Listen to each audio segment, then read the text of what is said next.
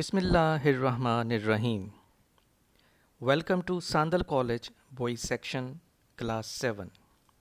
Dear students, here is Akhtar Saeed, your English teacher. Today is lecture 11, unit 1. The name of the unit is Light in the Night, page number 9. Dear students, we started this lesson yesterday. Yesterday I told you that this lesson is about London. London is the capital of England, its history and its progress regarding lights. Before 18th century, there were no lights in London. The people had to burn their own lights. The oil lamps were fixed and sometimes when they had to walk or move in the streets at night, they had to give some money to a boy who carried the lamp in his hands and walked in front of the person. And sometimes it was dangerous because these boys robbed the people and ran away. Today is the continuation of the same uh, topic, same idea. So let's start page number 9. First paragraph. In the 1700s, London grew rapidly. London developed rapidly rapidly means quickly and became the world's center of trade and manufacturing. Trade means business and manufacturing means making, producing. They produced a lot of things. That's why it developed and fashion. Once again I read this sentence. In 1700s, London grew rapidly and became the world's center of trade, manufacturing, and fashion.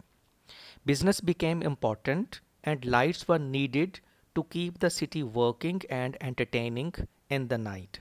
Entertaining means providing enjoyment. When you progress, you need enjoyment as well. So they needed light in the night so that they might be able to see everything clearly. Next paragraph. By the late 1700s, London had so many street lamps that visitors to the city were amazed by them. Any visitors who came from some other parts of the country or from some other uh, parts of the world, they were amazed. Amazed means surprised. They were surprised to see the lights that the whole city was illuminated by the lamps. The lamps were fueled by wax or oil that gave off unpleasant smell. Gave off means emitted, kharaj karna. They emitted unpleasant, bad smell and often dripped. Dripped means fall in drops. Sometimes the drops of oil uh, fell down and it gave some unpleasant smell as well. Many people were employed. Employed means given job. Many people were given job. Many people were involved. Involved. Many people were made busy as lamp lighters. These people uh, were engaged. These people were given uh, jobs as lamp lighters because each lamp had to be lit had to be lit by hand every evening. One German tourist visiting London in the 1700s wrote in his diary, As it was quite dark when I came back the first evening, I was astonished. Astonished means surprised.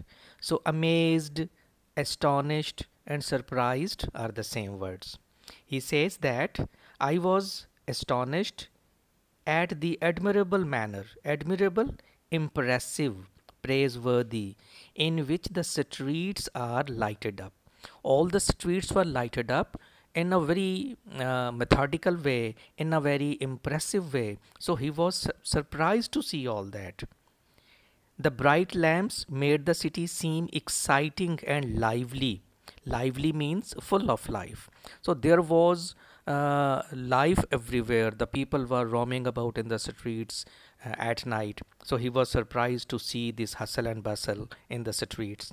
The lamps are so near each other that even on the most ordinary and common nights, the city has the appearance of a festive illumination. Festive means light. As you know, there is birthday or marriage in our families. We illuminate the whole house. There is light everywhere. So, in the same way, he says that in the most common days, there was so much light that it seemed that there was some kind of festivity, that there was some kind of festival because there was a lot of light in the streets.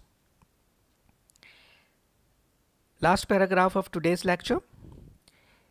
The lamplighters quickly became an important and valued part of society because they had a very important duty to develop light, to create light in the city, so they were respected as well. This was because they often became a key figure in the communities. Communities means societies uh, where you live that you, that is called a society. You live in a society you live in a community where there are a lot of houses and people living in them.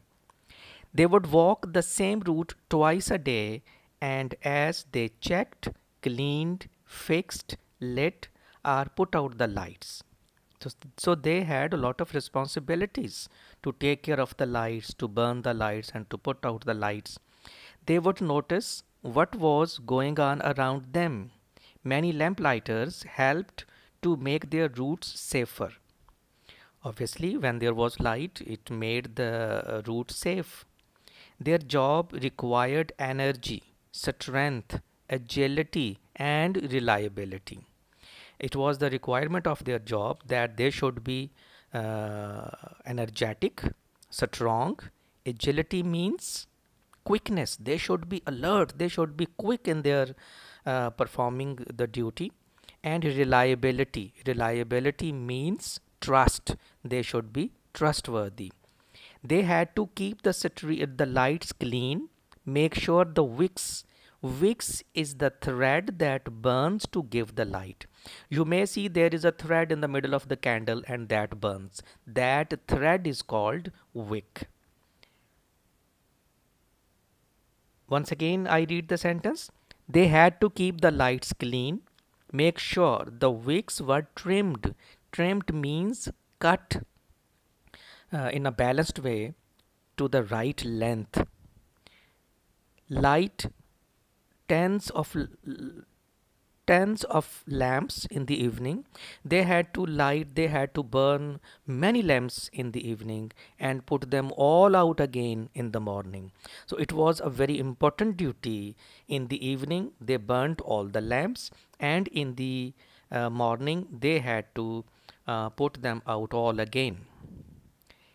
Many lamplighters were pleased to be guardians.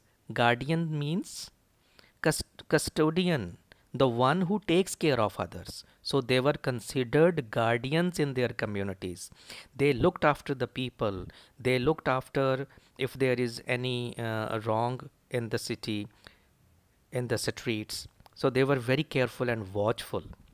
Many lamplighters were pleased to be guardians in their communities and often the job would be passed on from parent to the child.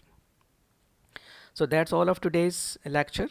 As I told you yesterday, uh, today even, you are supposed to write only the words meanings of some important word are the words you feel are difficult for you. Uh, you need not write any other date. Add these words meanings to the already words meaning you, you wrote yesterday. If you find any problem, you may contact me in the feedback uh, group. Uh, take care. Thank you very much.